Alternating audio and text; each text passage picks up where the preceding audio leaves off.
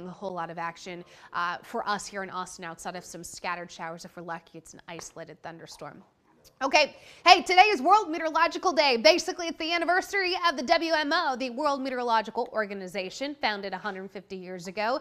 Uh, one of the things that kind of ties into climate change is the fact that they said in their next 150 years of existence, they plan to prioritize seeking to develop sustained and coordinated greenhouse gas emission infrastructure to uh, support the Paris Climate Agreement. So I thought that was pretty interesting. And obviously, uh, being the WMO, scientific and technological advances in how we study weather and how we study climate are also in the mix. So that is your climate change minute of the day.